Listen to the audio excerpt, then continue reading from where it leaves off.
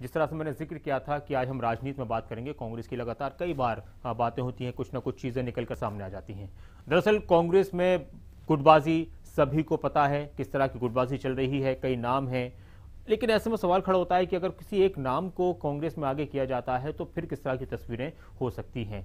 कौन कौन लोग हैं जिनकी हसरतें हैं कि उनकी भी नज़र है उस कुर्सी पर जिससे प्रदेश को चलाया जाता है?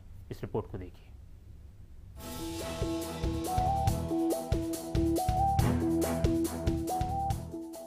कांग्रेस हरियाणा में कई सालों तक सत्ता में रही है और जब कोई पार्टी सत्ता में रहकर काम कर चुकी होती है तो बहुत से बड़े नाम उभरते हैं, जिनकी ख्वाहिश होती है उस कुर्सी तक पहुँचने की जो प्रदेश को चलाती है। और कांग्रेस में इस कुर्सी पर बहुत सारे लोगों की नज़र है। पिछले काफ़ी वक्त से, या कहा जाए पिछले काफ़ी सालों से, कांग्रेस में काफ़ी तेज हलचलें हैं। जब भजनलाल को नजरअंदाज करके भूपेन्द्र सिंह हुड्डा को हरियाणा का मुख्यमंत्री बनाया गया तब से ये हलचलें बहुत बढ़ गई हैं।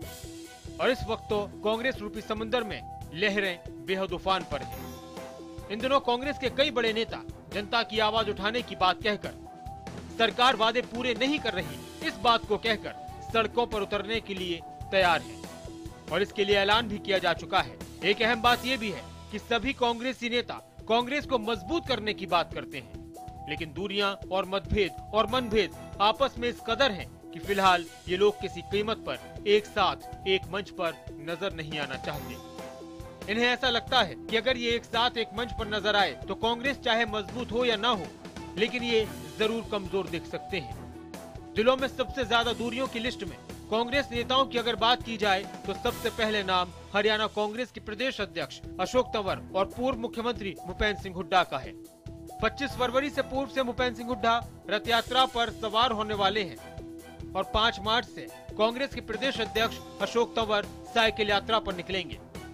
ये दोनों ही नेता सरकार के खिलाफ मैदान में उतर रहे हैं।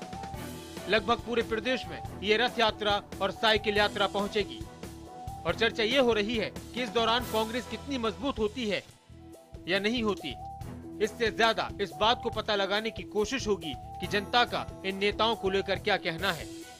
और जनता का रुझान किस तरह का नज़र आता है। और आने वाले वक्त में जब चुनाव हो तो हाईकमान को ये संदेश दिया जा सके कि देखिए कितना जनसमूह हमारे साथ है। इसलिए अब चुनाव उनके नेतृत्व में हो। इस तरह के इशारे खुद ये नेता कर देते हैं। तो उनके कार्यकर्ता और समर्थक तो पोस्टर्स पर उनके नाम के आगे भावी मुख्यमंत्री लिख रहे हैं। और इन दोनों मुख्यमंत्री की रेस में कांग्रेस के अंदर कई खिलाड़ी हैं, जिनमें कुछ अभी खामोश हैं तो कुछ बोल रहे हैं। भूपेन्द्र सिंह हुड्डा, अशोक तंवर, रणदीप सुरजेवाला किरण चौधरी, कुमारी सैलजा, कुलदीप बिश्नोई।